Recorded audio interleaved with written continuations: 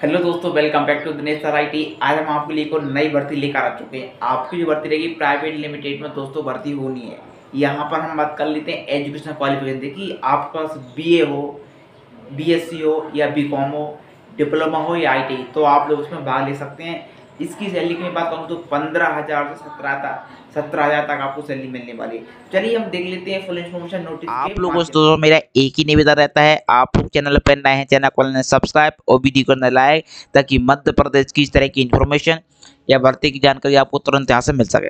तो चलिए हम चलते हैं, क्या इन्फॉर्मेशन रहने वाली है? हमने कर लिया नोटिस डाउन देखिए दोस्तों, यहाँ पर आपका जो चयन है वो किया जाएगा इंटरव्यू के आधार पर, ठीक है?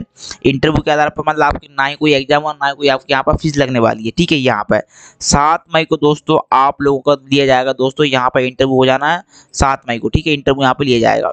कितने आपको दस बजे पहुँच जाना है, कहाँ पर पहुँचना है तो देखिए शासकीय आई टी मलजखंड जिला बालाघाट, मध्य प्रदेश। यहाँ पर आपका पहुँच जाना है आप लोगों को।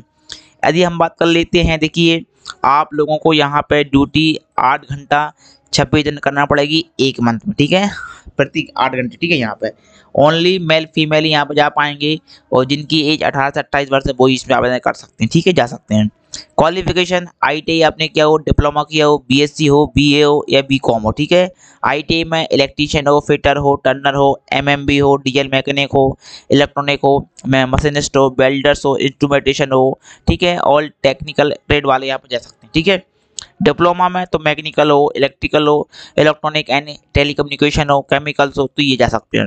इसके बाद बी बी कॉम वाले जा सकते हैं। ठीक है, यहाँ पर।